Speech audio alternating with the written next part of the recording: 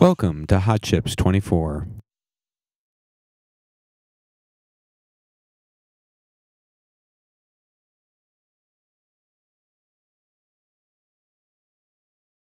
Session 4 Multimedia and Imaging.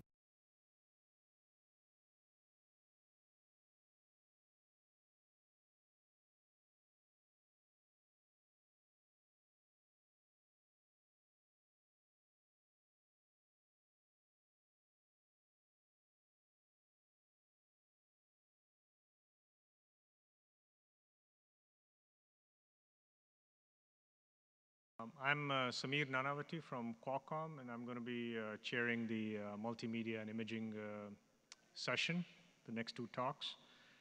Uh, we'll do a little bit of a change of pace now. Um, we, we're going to go from GPUs and CPUs to um, SOCs.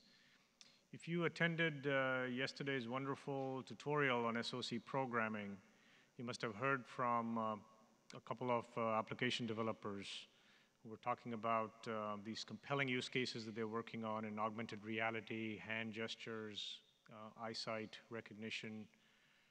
Um, and you also heard them uh, demanding hardware capabilities for uh, image processing and, and, and vision. Uh, so the next two talks um, are about vision processes and um, outlines the architectures and the design choices that uh, they're making to address this these new uh, use cases.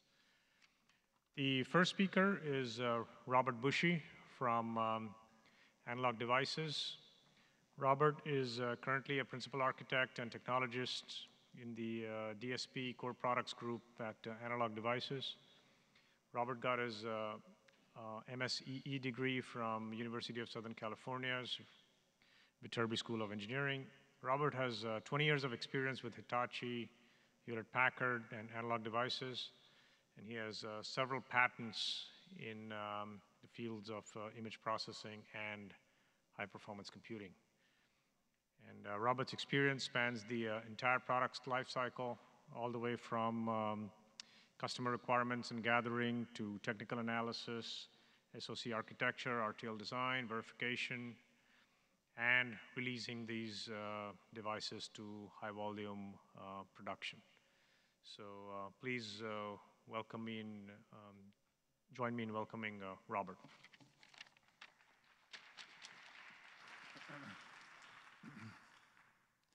Thank you, Samir. Hello, everyone. Uh, today I'll be discussing analog devices, uh, BF60X vision focused system on a chip, and also our all new pipeline vision processor. First, a few words about analog devices. We're about a $2.7 billion company. We've been around a little over 40 years. Uh, and I want to note off the top that this has truly been a cross organizational, cross geographical uh, development effort. And design centers from uh, Beijing to uh, Bangalore, India, all the way across Europe, North America, uh, Australia. It's really a, a, global effort that went into producing this, um, this device.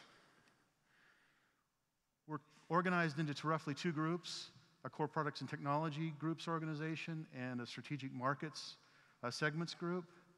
I come out of the processors and digital signal processing, CPT, and our, our CPT did most of the development of the device in collaboration with um, most of the strategic market groups. Two of the uh, focal groups that we worked with for primary market segments were automotive and industrial, um, and then we, so we have an automotive focus to the device in the ADAS, automotive uh, driver's assistance systems market. And then we also have a general industrial view uh, of things like machine vision, applications like machine vision. But we also have a GP component which cuts really across all the markets. So we've architected and defined the device to meet the requirements across many markets and many, many applications. So the the BF60X family of devices that we just recently introduced uh, is at the high end of our Blackfin family. It has two uh, Blackfin DSP instruction level processors and the Pipeline Vision, what I, how I refer to as function level processor. A little bit about the ADAS market. Um, when we talk about ADAS, we talk about reducing traffic fatalities and automobile accidents worldwide. and reducing accidents generally. Uh, there's three general uh, categories of technologies that we talk about radar, LIDAR, and vision. The focus of today's talk is on vision. Although I will say that the three groups of technologies are used in complementary ways and redundant ways to gather uh, meaningful and uh, accurate information about the surroundings of the automobile. the, the vision processing applications that we typically try to map onto a device like the BF60X are applications like lane departure warning, traffic sign recognition, pre-collision warning, these kinds of applications.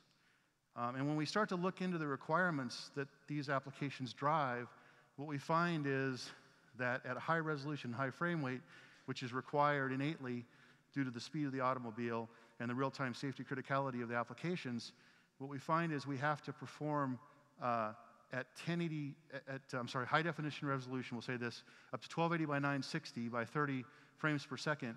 If you do the math, that comes out to about 37 megapixels per second. But it's a little more computationally complex than that because we're actually uh, computing pixel operations concurrently, both in parallel and in serial in a pipeline fashion. So when you do the full calculation, it comes out to over 25 billion operations per second that's required real time to be executed to satisfy the requirements of the, of the ADAS applications. And we try to map multiple ADAS applications onto a single device, and I'll talk more about that. Um, but in addition to, be, to addition, in addition to the performance requirements of many billions of operations per second, we have very tight power constraints. And we've architected the device to, to run at a worst case one watt. And that's for a couple reasons. One is uh, cost in terms of thermals and packaging. Um, and the other is just raw power consumption. So we have the low power requirements, the low costs uh, as well. So we can't just throw an array of uh, instruction level processors at the problem. We have to actually roll our sleeves up and define some uh, dedicated hardware that's somehow programmable and configurable enough to meet the, um, the, the, market requirements and the, and the software uh, community's requirements, as well as meeting the uh, computational requirements. Now, low bandwidth, as we all know, leads to uh, low cost and low power. In many of our use cases, we find that the lion's share of the power consumption is the I.O. switching power. And so we, we really have gone to great lengths to reduce bandwidth. Uh, it also reduces the overall power consumption, which leads again to lower cost packaging options. So the BF609 highlights, we have a new uh, pipeline function level vision processor. And I refer to it as a function level processor because it's programmed at the function level rather than the instruction level. So you can think of this as programming it at a higher level. And we, we um, in addition to the uh, function level processor, we have two Blackfin instruction level processors. So the processing is shared between the function level processor and the instruction level processors, or between the PVP and the Blackfins. We also have the feature-rich, uh, feature-rich peripheral set and the connectivity options you'd expect to find in this class of device. We've added a, a number of uh, safety features. We're trying to achieve ASIL compliance, which is the automotive uh, safety uh, standards and so we've added Parity ECC, a system protection unit that helps us to require, uh, recover from uh, various fault conditions.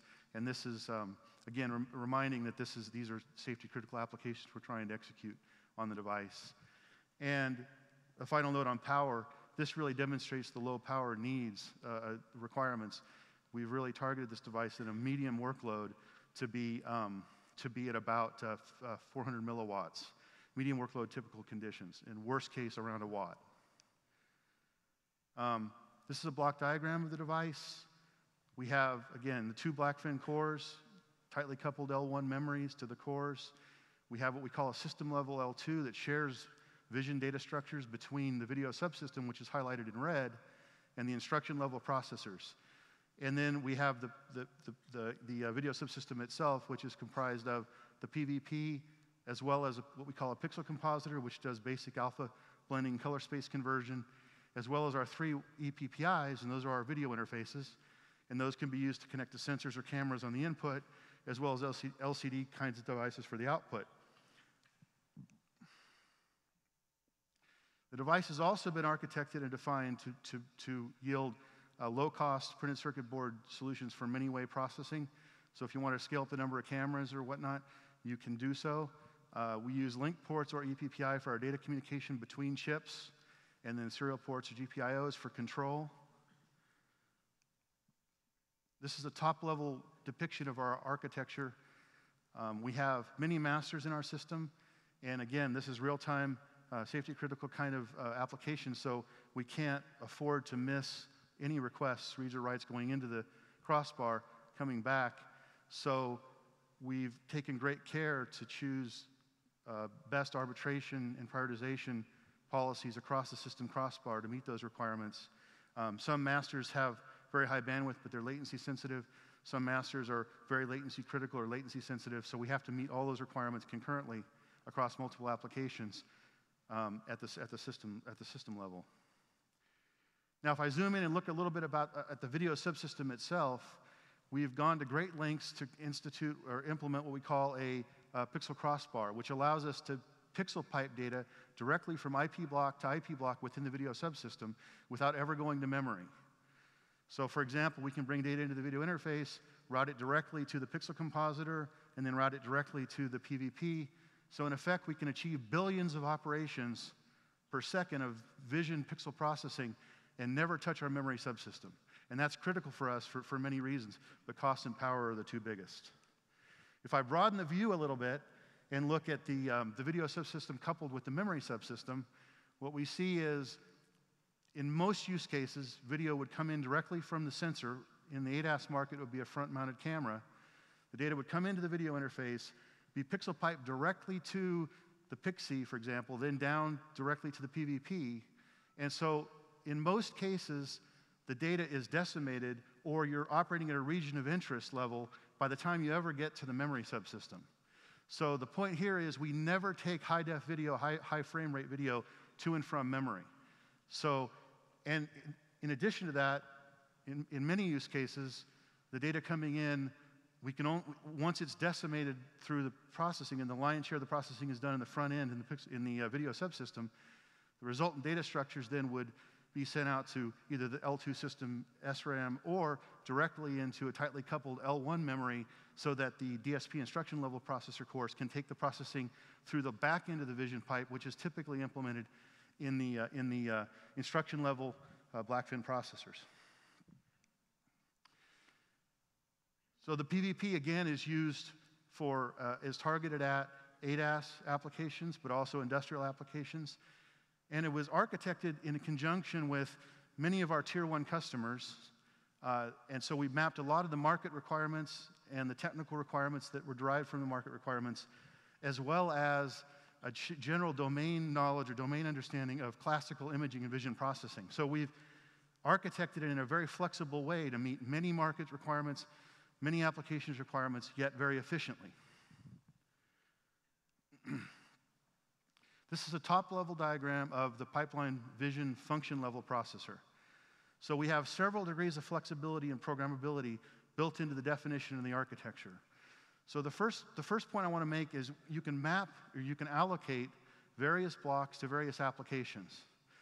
So let's say you want to map a couple of convolution blocks to a given application.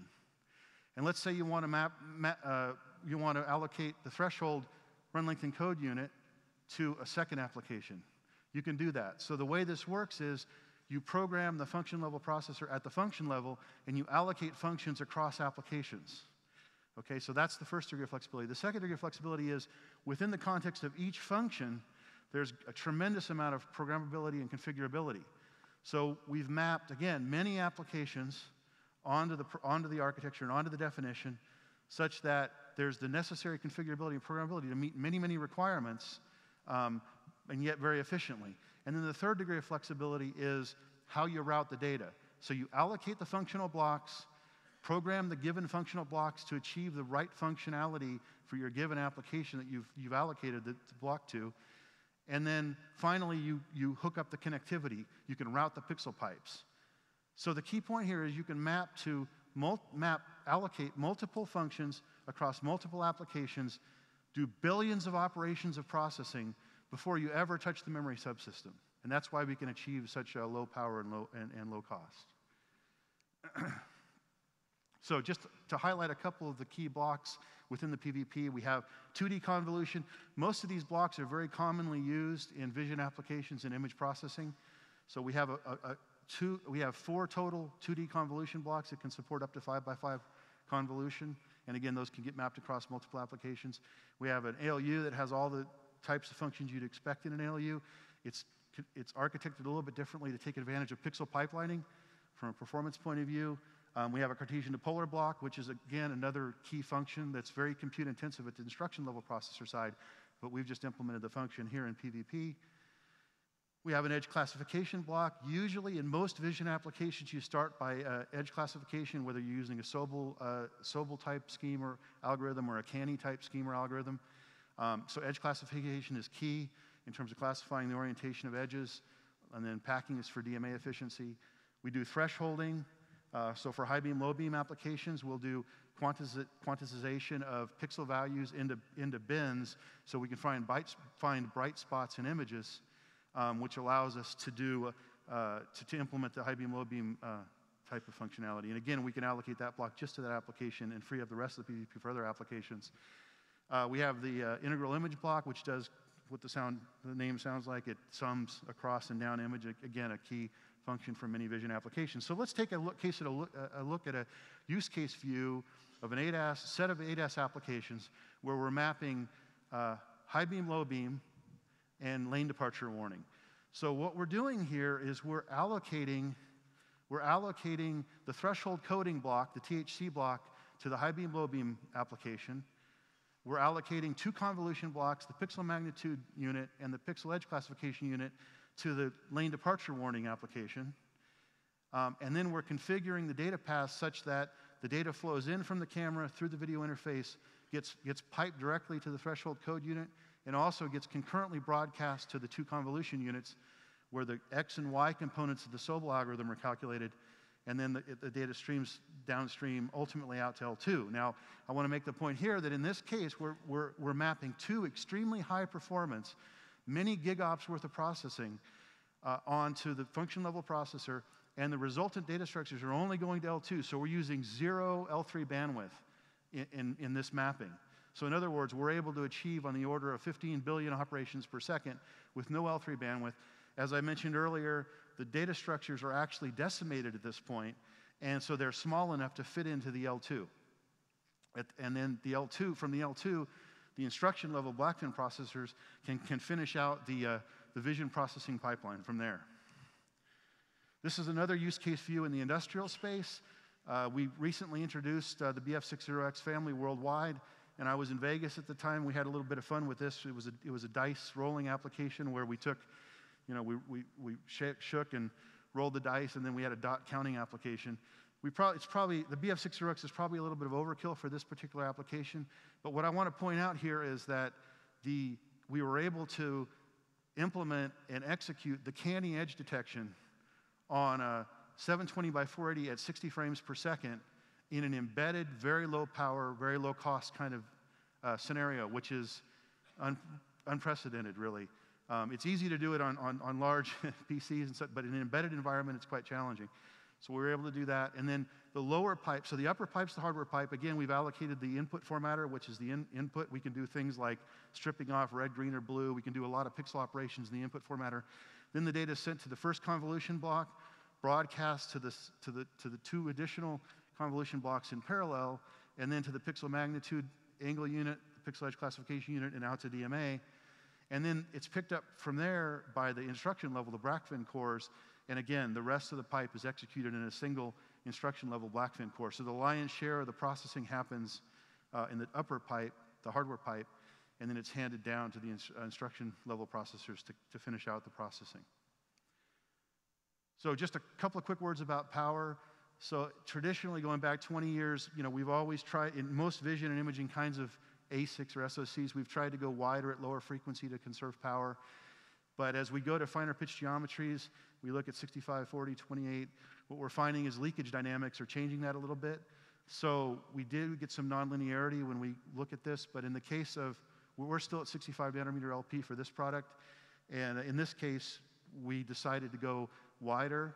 Um, so what we're showing here is that a 25 MAC architecture uh, running at 50 megahertz uh, is um, more power efficient than a 5 MAC architecture running at 250 megahertz. And so we ultimately implemented in the low power process, TSMC 65 nanometer low power process. Um, and again, market requirements, technical requirements drove us into that process.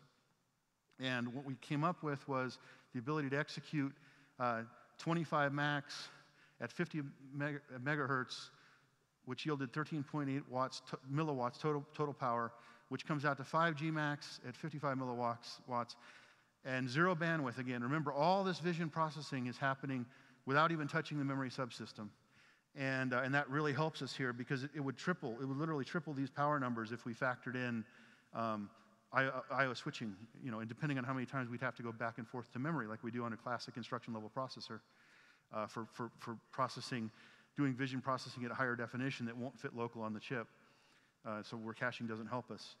And so the, the bottom line here is we can achieve a, a number of 11 milliwatts per GMAC of vision processing, which is pretty phenomenal in this process. And if you compare that to a, a classic DSP or any of our DSPs, it, it's a phenomenally low number. So, just a few words about the software architecture. This is something that people get nervous about. So, on the left, you'll see there's, it's a typical software stack. At the top level, we have the application software. At the low level, we have the PVP hardware. So we've done a number of things to ease the programming burden for, for, for vision programmers and, and image, image processing programmers. So in the middle there, you'll see a couple, few boxes. Those are our toolboxes. So those are high-level function or library bo boxes. And those were originally designed for and, and in use today on our Blackfin instruction level processors. But we've gone to great length to map many of those toolbox, high, toolbox high-level functions down into our PVP hardware. So, it, so that the software programmers can seamlessly use these same functions they've used in software, same APIs, and yet achieve much more sophisticated algorithms and or higher, uh, higher uh, resolution and frame rate on the, on the vision processing. Uh, we've also taken other steps like we've mapped many of the OpenCV API calls for, for those that are familiar with OpenCV, it's an open standard. We've mapped uh, many of those calls, it's, it's, it's not a direct mapping, but it's a rough mapping. And so those that are familiar with OpenCV programming can use those APIs. We don't always implement all of the API parameters, but the spirit of the APIs are there. And oftentimes, if you just implement it directly with those OpenCV calls, you can achieve the same processing you achieve in a, in a Windows kind of environment. Uh, this is just a list of, the, uh, of some of the functions that we have in our various toolboxes. We have an ADAS toolbox. We have a, a, like more like a video surveillance and security kind of toolbox, and we have a general image processing toolbox. We have a number of toolboxes that are really mapped to different markets. So I want to conclude with just a few comments, uh, takeaways. So I believe that the best way to achieve an optimal architecture is to both work closely with customers, have a, a real uh, strong understanding of customer requirements, as well as having a domain, technical domain experience uh, and understanding, and blending the technology with the market requirements to come up with an optimal architecture. Oftentimes, I see people in the, in the marketplace trying to map uh, very computationally complex vision applications onto classical hardware, trying to force fit a market requirement that really doesn't fit on, on say, a certain kind of solution. And so we've tried to balance those two and really try to take into account where technology is what we can do with technology, but also what, what our customers are telling us they want. And I think we were successful in kind of blending those two, meeting many customer requirements while also implementing um, the, the best practices and latest technologies. The other thing is the hardware software IP partitioning. I think there's more and more pressure on us. We just can't, as we go to higher resolution, higher frame rate, more computationally complex kinds of tasks, you just can't get it done without going to very high power types of solutions.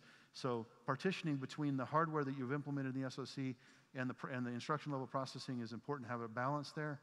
Um, and then in vision applications, video applications, it's critical to route the data very carefully, both at the video subsystem level uh, and also at the chip level, so that you absolutely minimize memory, memory subsystem access uh, and really optimize the vast majority of processing around on-chip uh, types of processing.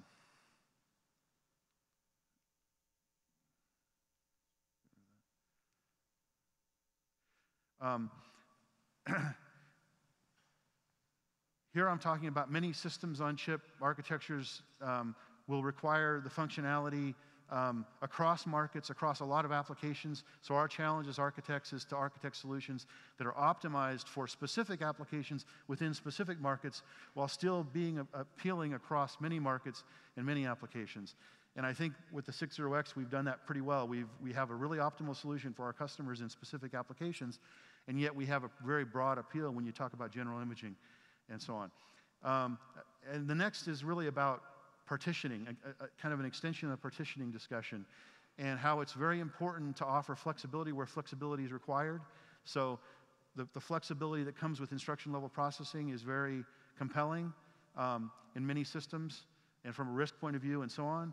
But I think having a balance between the software instruction level processing, something like a function level processor, which is something that would reside in the middle of the flexibility optimization kind of scale, and then having functions like um, H, H264 encode at high def, you know, in dedicated IP. So I think having the partitioning between dedicated IP, semi-function, semi-flexible, but still having uh, the, still performing optimally, yet having some flexibility and then ultimate flexibility, having the balance. And then the arbitration and prioritization at the, at the system level of the data when you have many masters in real-time applications critical, as most of us know. Um, and the algorithms that you employ at the DDR controller, in our case, we found because it was so critical that we didn't miss a single request, became paramount. So for us, at least, a memory controller on the, on the, DM, on the, on the DRAM, um, and then the arbitration prioritization across the chip to the many masters and making sure that you have a, a complete understanding of what all the varied master requirements might be uh, is, is, is most important. So to finish, my email is robert.bushey at analog.com. Feel free to follow up with me. I'll try to put you in touch with uh, whoever you might uh, need, like to talk with. Um, I want to point you to analog.com. There's a tremendous amount of information there. Uh, Blackfin Modules talks a lot about uh, all the libraries and toolkits that I talked about today. Um, the Blackfin, if you're interested, maybe, maybe this isn't the right device, but you're interested in Blackfin in general, we have a big uh, page on that with tables to help guide.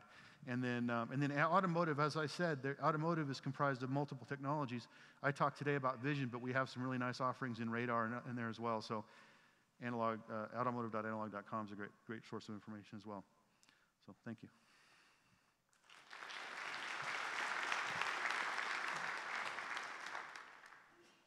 Thank you, Robert. We have time for questions.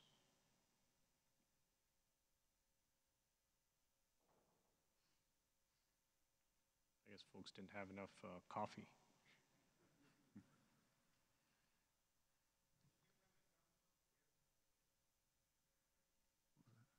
Can't hear you. Real applications. What's that? Real applications?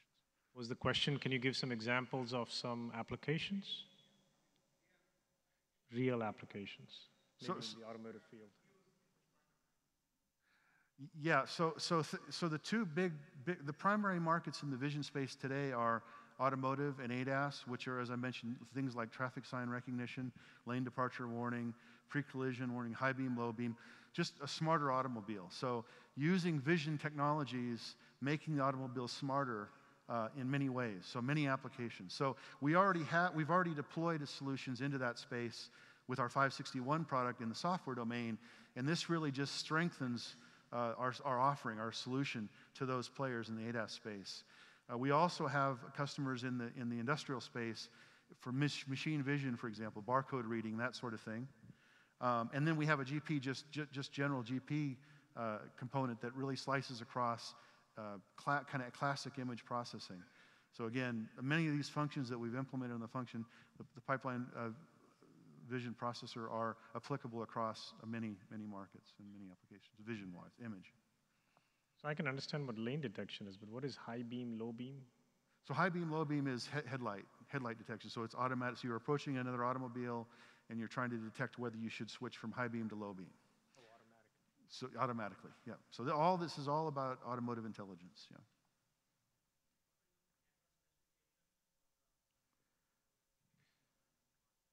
The question was about camera specifications for uh, these applications. So for lane departure, you're talking about the resolution of the camera. So, so, so, what we typically, so, so right now we're at lower resolution, so QVGA or, or in that range. But as we're moving forward in the next generations, we'll be going to higher def kind of resolution. So that's why we support up to 1280 by 960. Um, OmniVision, some of the all the leading uh, um, sensor vendors su supply into the automotive market, and there's a whole array depending on uh, which supplier to which automotive OEM. So there's a whole array of, of, specs out there, which is which is one of the challenges. Not only the specs themselves, but also the connectivity to those sensors. Uh, whether it's native LVDS directly to the sensor, there's some sensor vendors have their own standards, so there's tremendous challenges around connectivity there as well that, we, that, we've, that we've actually started to talk a lot about it and to address. Yeah.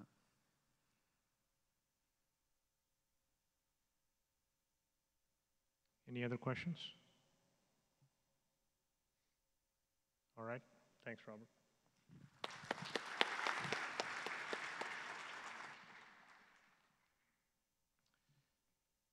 The um, next uh, topic is also on um, heterogeneous SoCs for uh, image processing applications. This time it's from uh, Toshiba. The um, presentation is by uh, Masato Uchiyama. He's currently in the uh, SoC team at Toshiba, focusing on processors and real-time system architectures. Uchiyama-san obtained his bachelor's and master's degree in uh, information and computer science from Keio University. And uh, since 2002, he has been working on SoC development at Toshiba. In the first six years since joining the company, his main work was related to processor architectures. In the next three years, he worked on development of media codecs and applied and acquired knowledge of image processing. And uh, for the last two years, he's been working on image processing um, software. So please welcome um, Masato Uchiyama.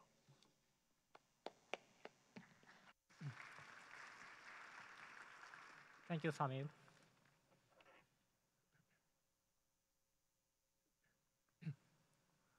Hello, everyone. I'm Masato Uchiyama, a software engineer, working in a Toshiba Digital Media SoC department. Uh, it is great to be here. Today, I'd like to present Visconti 2, a heterogeneous multi-core SoC for image recognition applications.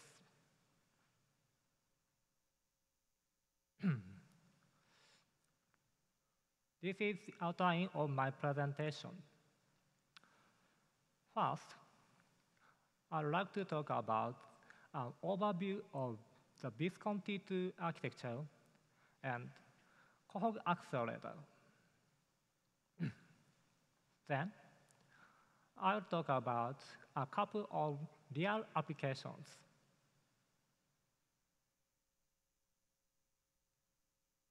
Background.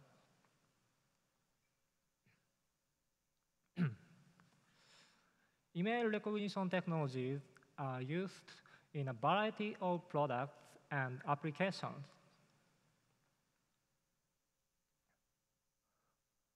Visconti 2 is an SoC designed for those image recognition applications, including automotive, consumer, industrial, and other products.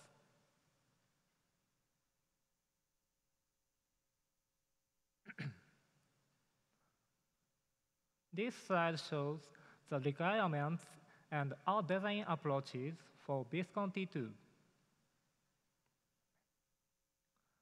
Major requirements are high accuracy, high performance, and low power. For high accuracy purpose, we introduce a Toshiba original image feature descriptor called Cohog.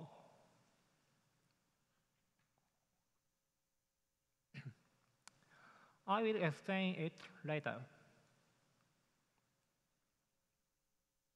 For high performance with low power, we implemented several hardware accelerators.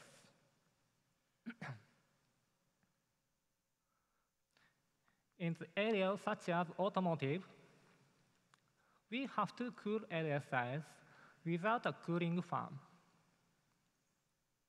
Therefore, power consumption is limited under 1 watt in a typical condition.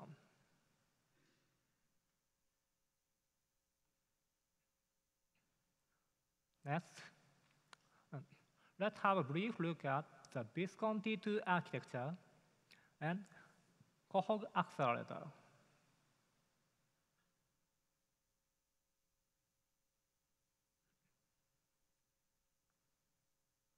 This is the block diagram of Visconti 2. As you see on the figure, a multi-core subsystem and six hardware accelerators are integrated. To keep enough memory bandwidth, four banks of on-chip SRAMs are also integrated and connected via a crossbar switch.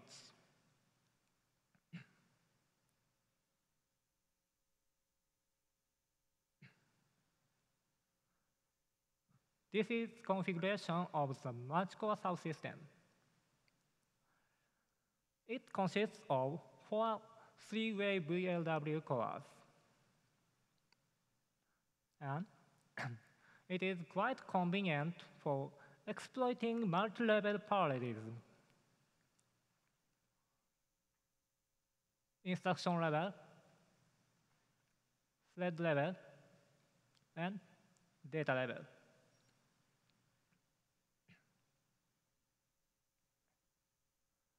This subsystem deals with various programmable tasks which cannot be handled by hardware accelerators described in the next slide.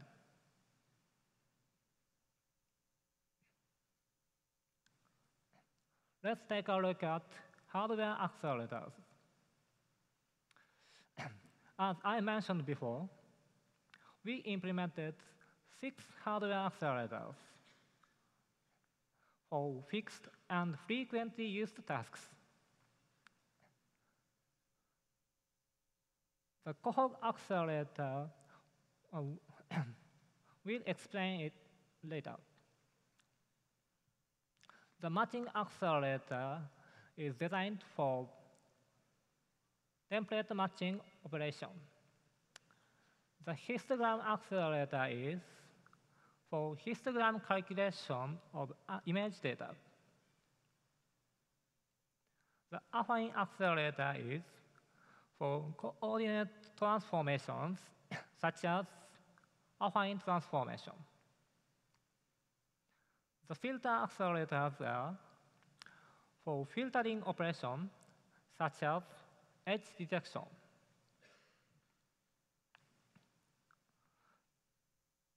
To explore a balance between high performance and low power, we took a highly parallelized approach rather than a high clock frequency approach.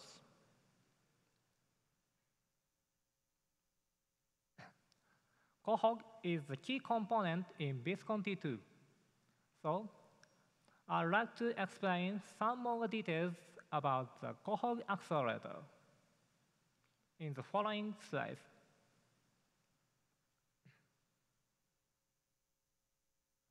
CoHOG is an uh, extension to the widely used image feature descriptor HOG.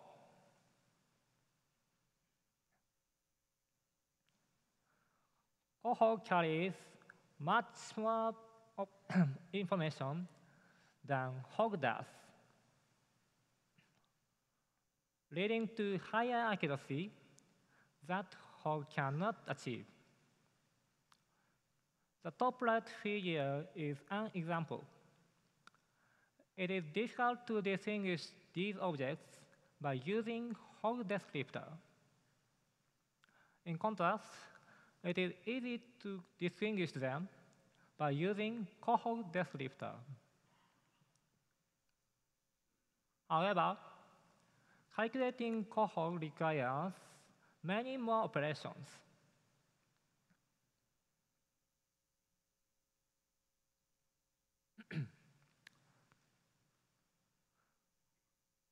CoHOG requires about 160 operations per pixel.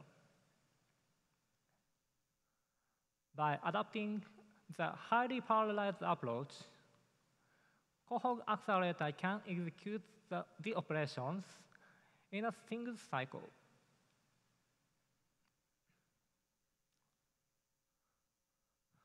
From the higher level viewpoint, it is equivalent to 400,000 ROIs per second. Good enough performance for our target applications.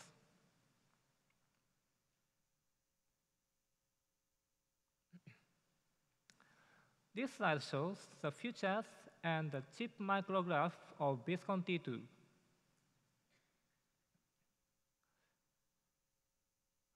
The four accelerators, namely CoHOG, Affine, histogram, and matching accelerator are implemented in this area.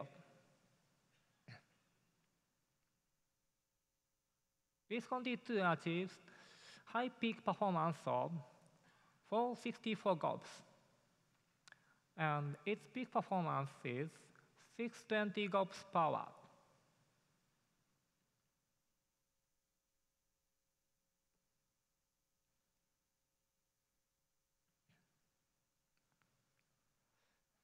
Now, I'd like to, I'd like to show you two real applications.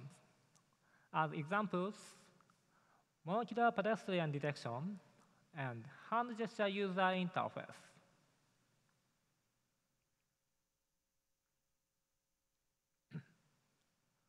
pedestrian detection is an application for alerting a driver or braking a car automatically. Upon detecting pedestrians in the front view camera.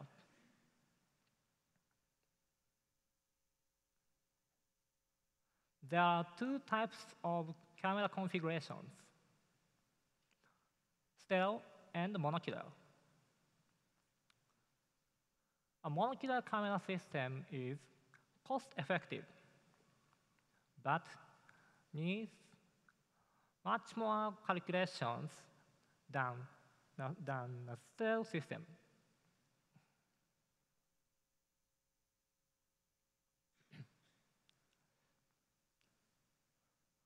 This is the processing flow of pedestrian detection. First, a number of scaled images are made from input image using the Affine engine. After that, the scaled images are translated to gradient orientation images using filter engine. Then, CoHOG-based recognition is executed using gradient orientation images. Next, detected pedestrians are tracked by template matching scheme using the matching engine. Finally, all results are merged, and distances and velocities of pedestrians are calculated.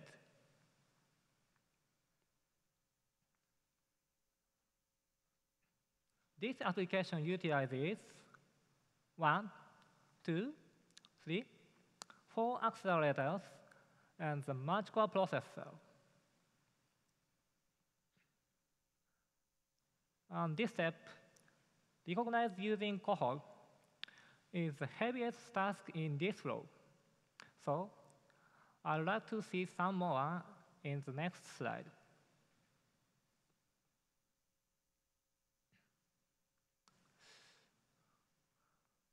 For pedestrian detection,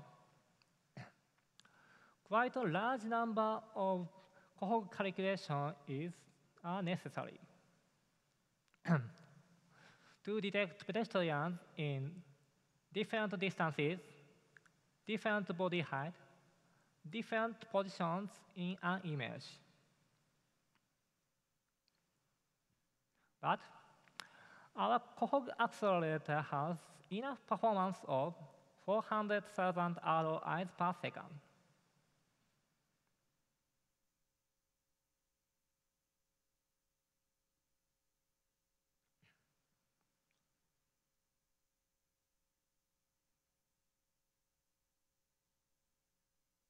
These graphs shows how Visconti 2 outperforms a general purpose embedded 1 GHz CPU.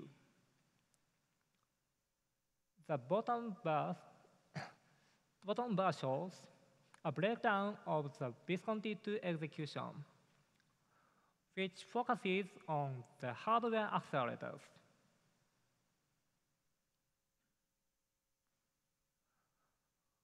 Visconti 2 can execute this application 50 times as fast as a 1 GHz CPU with the aid of highly utilized accelerators.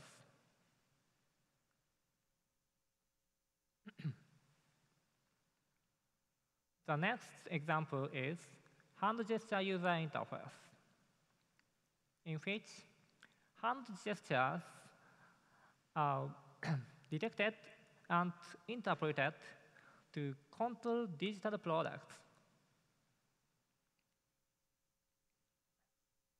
COHOG is extensively used for detect detection of a hand.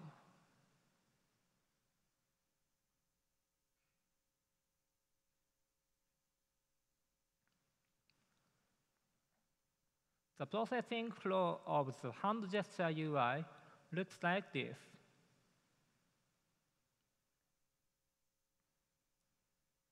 Here, we have two different modes, detection and tracking.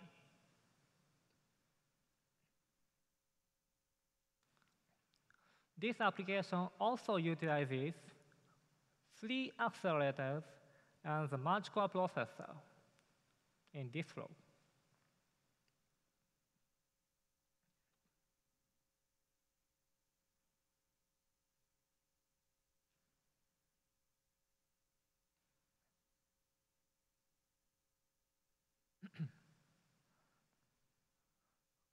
there are two sets of bar graphs,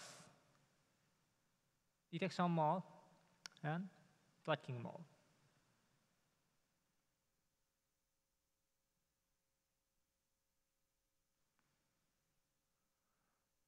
These bars show how Visconti 2 again outperform, outperforms a 1 GHz CPU.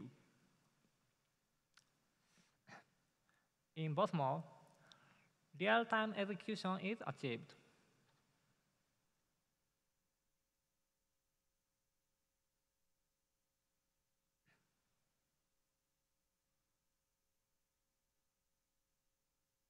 This slide shows the power consumption of the example applications.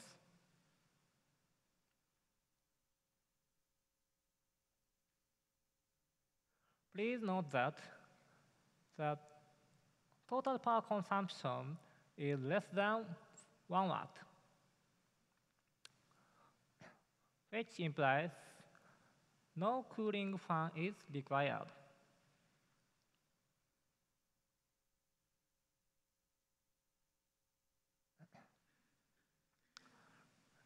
Let me conclude my presentation. Visconti 2 is an image recognition SOC and achieves high accuracy, high performance, and low power with the COHOG accelerator and the other hardware accelerators. Now, engineering samples are ready for customers. Please check this URL to get more information about Visconti 2.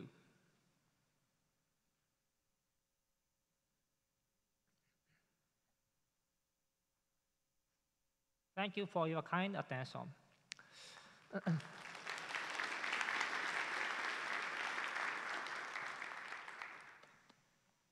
Thank you, Masato. Any questions?